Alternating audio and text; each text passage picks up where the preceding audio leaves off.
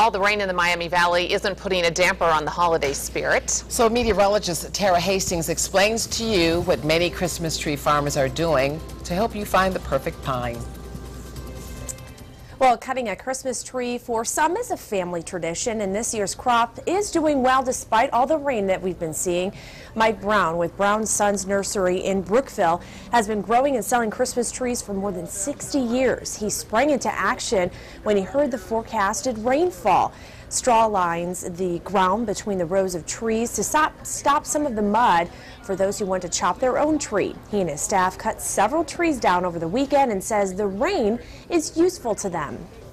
It, it keeps everything fresh, what's out in there. It actually helps the trees, what's, you know, what's been cut and stuff and keeps them fresh and everything's, you know, but it's just the ideal. You got to do extra, spend extra money putting straw down, mulch down, stuff like that to keep the customer from getting too muddy. Now Brown is uh, laying down more straw tonight, but he recommends wearing a good pair of boots if you want to cut down your own tree. I'm meteorologist Tara Hastings, 2 News on your side.